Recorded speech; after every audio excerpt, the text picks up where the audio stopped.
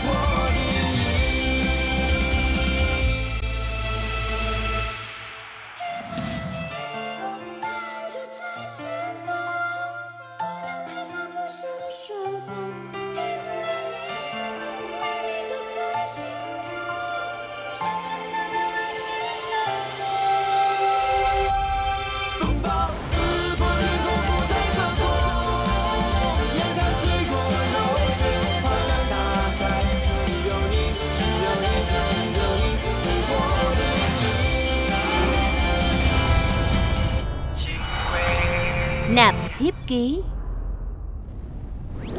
Tập 20 Bỏ vợ Bảo con bỏ vợ, đi lấy bạch tố mai. Mẹ à Bảo con bỏ vợ, đi lấy bạch tố mai sao? Đây là nói đùa à? Con và Tiểu Tuyết đang yên năng lành, Tại sao phải chia rẽ bọn con? Tuy rằng con thấy bạch tố mai đó, Coi cũng thuận mắt. Có điều, đây là ép buộc mà. Con có phải ngựa giống đâu Mà bảo đi phối giống là phối chứ Con trai à Đây cũng không phải là ý của mẹ. Mẹ cũng biết Tiểu Tuyết là một nàng dâu tốt. Nhưng mà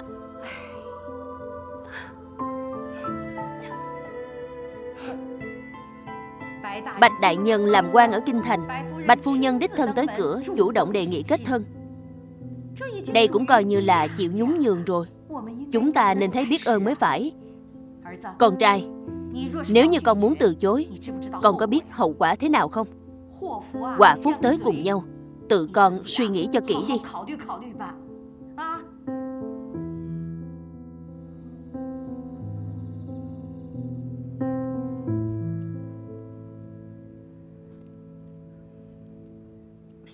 Tướng công, Sao vậy? Ngày mai Tiểu Tuyết sẽ đi.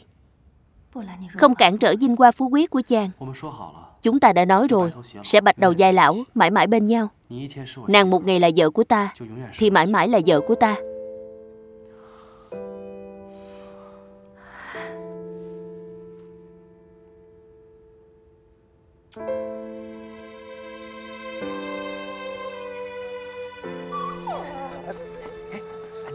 Andy Dương, đi nào. Đội trưởng, sao muộn thế này còn chưa ngủ? À Tổ, hôm nay vợ của Bạch Thiên Tổng tới tìm tôi. Sau đó vợ tôi liền. Tôi đã biết rồi. Huynh nhiều chuyện vậy? Đội trưởng, tôi không những biết chuyện này Mà tôi còn biết nên giải quyết thế nào nữa. Ghé tài lại đây. Nói mau.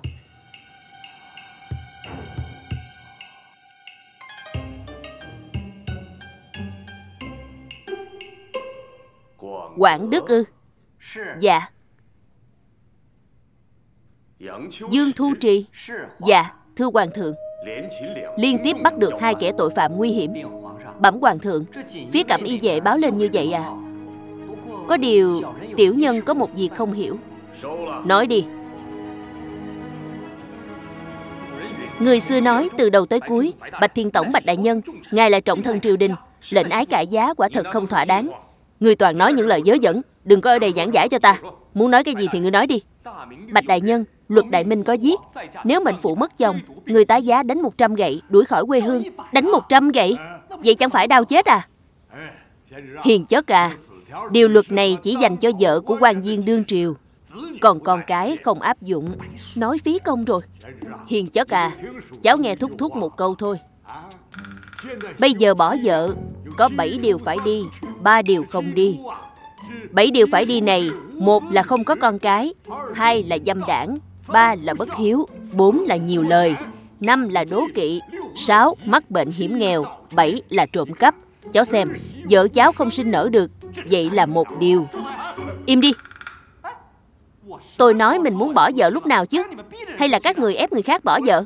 Ta, Bạch Đại Nhân, Tôi tốt xấu gì cũng từng cứu ngài một mạng, Cứu quý phu nhân một mạng, Cứu tiểu Cứu con gái ngài hai mạng. Chính vì vậy ta mới để con gái chịu thiệt thòi mà lấy ngươi. Thế nào? Không phải ngươi nên biết ơn sao? Không không. Bạch Đại Nhân, Tôi biết ngài muốn gả con gái ngài cho tôi. Tấm lòng này tôi đã nhận rồi Và vô cùng cảm kích. Có điều đã có vợ rồi mà lấy vợ nữa Là trái với thiên lý, Thứ cho tôi không thể làm theo. Họ dương kia. Bạch mổ là người thế nào? Ta nghĩ ngươi không thể không biết. Ta chịu gả con gái cho ngươi. Đó là vì coi trọng tình tiểu tử ngươi. Thế nào? Ngươi chê con gái ta là người tái giá ư? Không không, Tôi không có ý đó.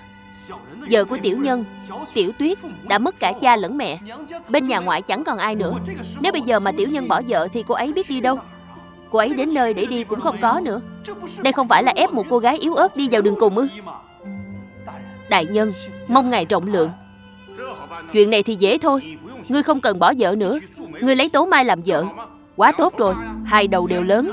Hiền chó à Đây đúng là chuyện tốt vô cùng. Cháu phải biết rằng, Thúc thúc à. Cháu không biết thời cổ đại các người là như thế nào. Nhưng mà cháu biết một câu, Người vợ Tào Khang không thể dứt bỏ. Cháu không biết hai đầu, ba đầu là cái gì. Xin cáo từ. Quay lại.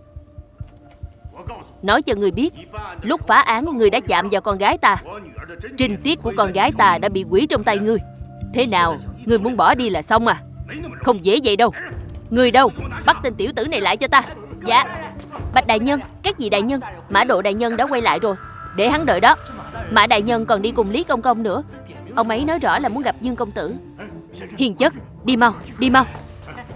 Tú Tài Lý Công Công chỉ gọi mỗi Dương Thu Trì thôi. Ngươi ở lại đây, Đừng đi nữa. Lý Công Công Chỉ rõ muốn gặp Dương Thu Trì.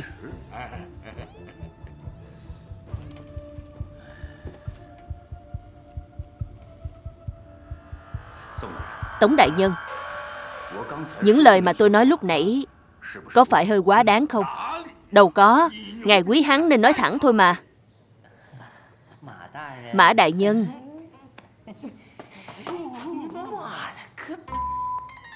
Đa tạ công công. Đi đi. Mã ca ca.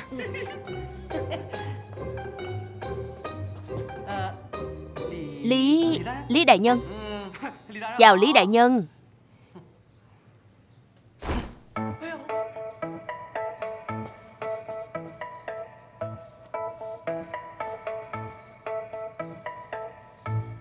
Dương Đại Nhân, Mời quỳ xuống tiếp chỉ. Cái gì? Tiếp chỉ ư?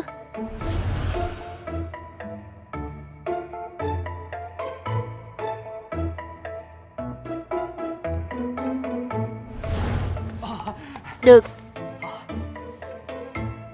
Phụng Thiên thừa giận, Hoàng đế chiếu giết. Ban cho Dương Thu Trì ở huyện Quảng Đức Làm đại nội đặc sứ, Kính cẩn tuân lệnh. Những kẻ kháng lệnh làm trái có thể tiền trảm hậu tấu khâm thử. Tạ chủ long ân. Đứng dậy đi. Giúp tôi tạ ơn hoàng thượng nhé.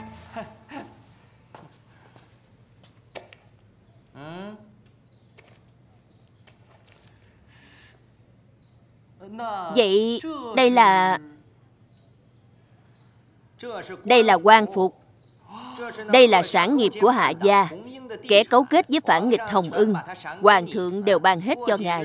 Vài ngày nữa đi nhận là được. Tạ chủ Long Ân. Miễn đi. Dương đặc sứ, Cũng không biết ngài có phép thần thông gì. Vụ án dư đảng kiến văn đã kéo dài nhiều năm, Khiến hoàng thượng đau đầu. Cho nên hoàng thượng mới ban chức quan này cho ngài. Ngài hãy tiếp tục điều tra về dư đảng kiến văn đi. Triều đường trên dưới một lòng phối hợp. Có điều, thứ này Ngài phải cất kỹ đấy. Chuyện này vô cùng bí mật. Không đến lúc dạng bất đắc dĩ Thì không được tiết lộ thân phận của ngài. Hiểu chưa? Hiểu rồi hiểu rồi. Vậy bộ y phục này của tôi làm thế nào? Bày ở nhà mà cúng. Vậy tôi làm quan mấy phẩm? Có tiền lương không? Không có. Cất đồ cẩn thận. Được thôi.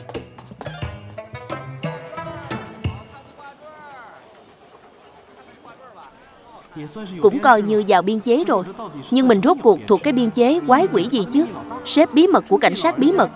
Chu lệ lão nhân gia đã giao cho mình tra án, Nhưng lại không để tiết lộ thân phận, Không trả lương, Nhưng lại cho mình một đống nhà đất. Mình vào sổi cũng quá kém cỏi rồi. Đội trưởng! Đội trưởng! Lý Công Công đặc biệt tới đây mà chỉ tặng chim bồ câu thôi sao? Đúng vậy, Thưởng một con bồ câu. À không, là hai con bồ câu. Hoàng ân mênh mông. Đúng thật là hoàng ân mênh mông. Hoàng ân mênh mông Hay lắm Hay lắm Hay lắm.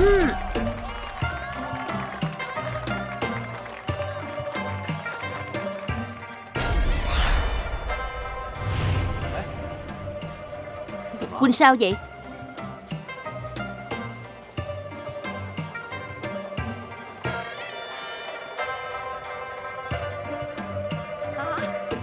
Từ chối rồi. Từ chối rồi. 100% từ chối rồi. Vậy Bạch Đại Nhân có nói gì không? Dương Thu Trì con là ai chứ? Dù sao thì ông ấy bắt con bỏ vợ để cưới một muội muội Bạch Tố Mai. Con không làm được loại chuyện đó. Tướng công, Còn nữa. Hôm nay ở đây, Con muốn bàn bạc với mọi người một việc. Bàn bạc ư? Bàn bạc chuyện quan trọng. Con muốn tổ chức hôn lễ. Tổ chức hôn lễ? Vụ án này cũng kết thúc rồi, Phải làm chút chuyện quan trọng chứ. Con và dạ Tiểu Tuyết cũng chưa từng chính thức tổ chức hôn lễ mà. Lần trước cùng chỉ nhược cũng suýt nữa xảy ra chuyện.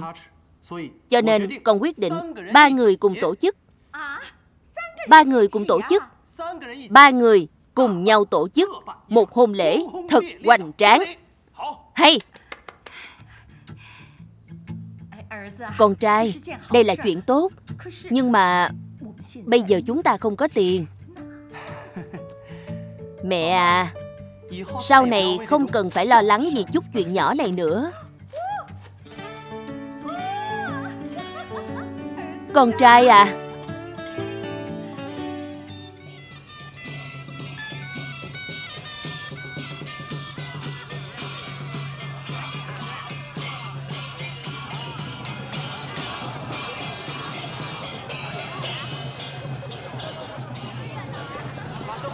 Dỡ hết đồ xuống. Chúc mừng, chúc mừng, chúc mừng. Trương Di Ngoại, ngày đến rồi à? Đến rồi. Chúc mừng. Mời vào. Dân Nhi, nào nào nào. Nào nào. Dân Nhi, ta nói với mọi người nhé. Hôm nay là ngày đại hỷ hiền chất của ta.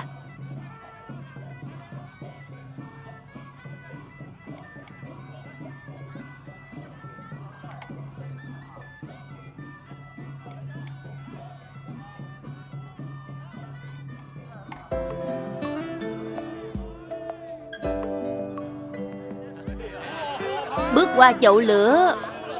Bước qua yên ngựa. Nhất bái thiên địa.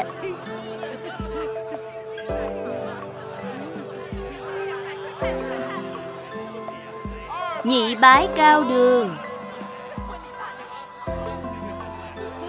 Phu thê. Các phu thê giao bái. Hay lắm, hay lắm hay lắm. Hay lắm.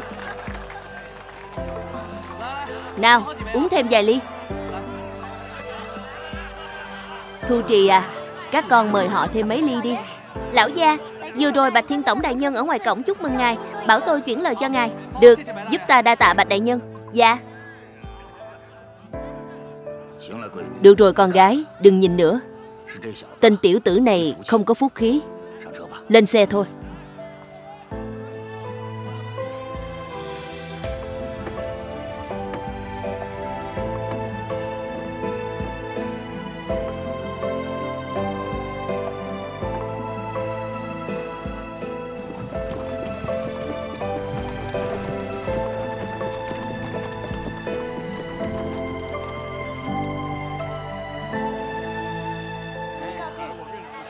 Hiền đệ ta lại đến uống rượu mừng của đệ rồi. Ta mong là sẽ được uống quanh năm suốt tháng, uống mãi mãi. Hiền chất à, chúc mừng nhé. Hôm nay là ngày đại hỷ của cháu. Có một số chuyện không nên nói. Nhưng mà một số người phải sống những ngày không thoải mái, đúng không? Cháu xem, ta vẫn phải làm theo phép công. Họ Long đó có phải đã đến lúc phải quay lại rồi không? Cháu biết rồi. Chúc mừng, chúc mừng.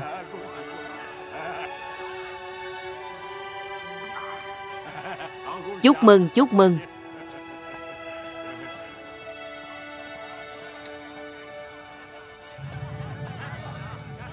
Đội trưởng, nào, tôi mời mọi người. Đội trưởng, A Tổ thật sự cảm thấy vui mừng cho huynh. Mùi cũng vậy. Mùi đừng uống rượu nữa. Người vị thành niên thì đừng uống rượu. Tự rót cho mình một cốc nước đi. Nhớ rót cho Andy Dương nữa. Các vị, hôm nay là ngày đại hỷ của Dương Thu Trì tôi. Đồng thời cũng là ngày mừng công của đội 4 chúng tôi. Đội cảm tử tứ đại ác nhân. Vì đội 4 Vì đội 4 Vì đội 4 Dương Nhi. Tử Tư. Andy Dương.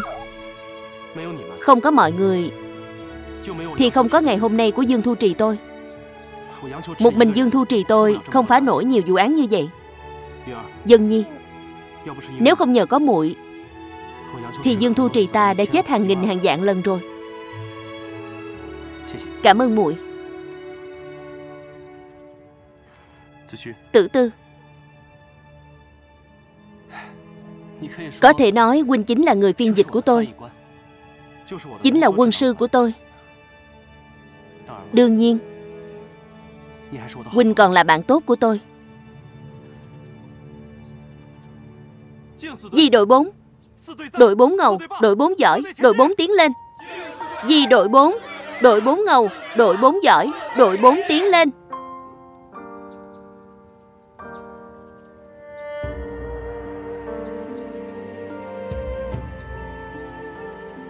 Tử tư. Còn một việc nữa. Đội trưởng. Tôi biết rồi. Long mổ Vẫn là người mang tội. Ở bên ngoài hóng gió lâu như vậy, Cũng nên quay về rồi. Thật ra tôi vẫn luôn muốn họ bỏ qua cho huynh, Không không? Những chuyện này buộc phải hợp với lễ pháp. Tôi phải quay về rồi. Đội trưởng, Tôi vẫn còn một câu muốn nói với huynh Làm người, Lương thiện là quý giá nhất. Cả đời dùng không hết. Làm quan, Tâm là thửa ruộng tốt. Bách tính cày cấy có thừa.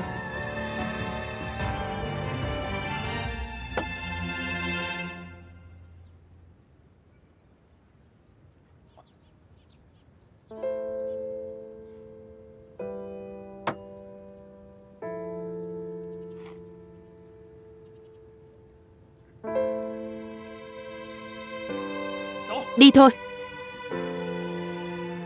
Tú tài ca ca. Ca ca, cha. Họ rốt cuộc là chuyện gì vậy? Trẻ con không hiểu. Ngồi xuống ăn đi. Tướng công, Thu Trì Con trai.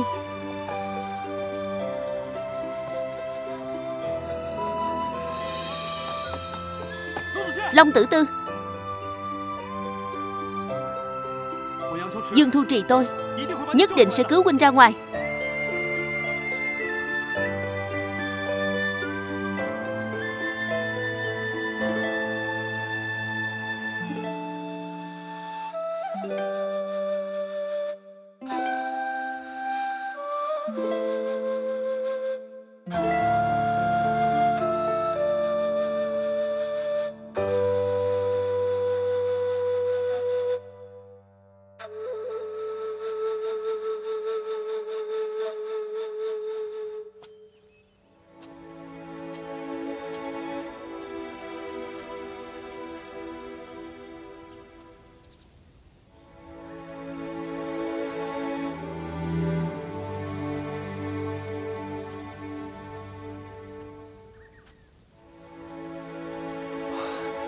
Thần tiên tỷ tỷ. Chúc mừng. Kiếp này ngắn ngủi một tấm gương. Kiếp trước bao nhiêu duyên hương quả. Cái gì? Kiếp trước.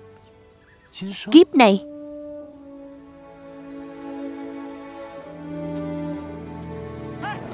Thần tiên tỷ tỷ Tôi vẫn chưa biết tên cô là gì.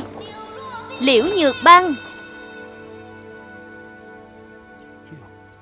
Liễu, Nhược, Băng. Tướng công, Thu trì. Tướng công, Thu trì. Tướng công Tướng công. Tướng công, Thu trì.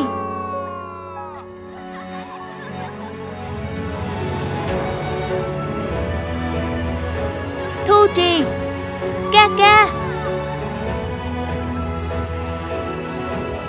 Tướng công Thu trì.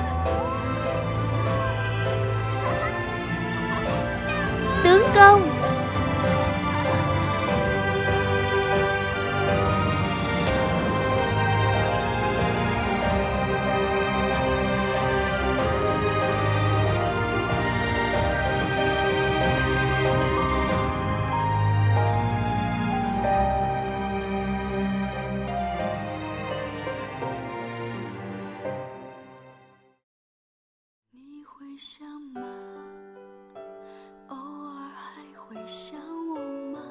爱情故事，主角已换作他，对我没说完的情话，没有结局的童话。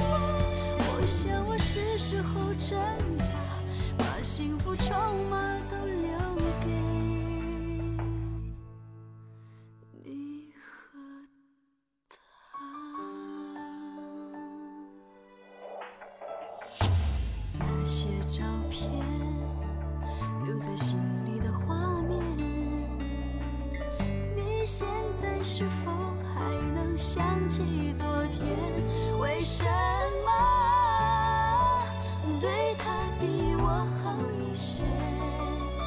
让我一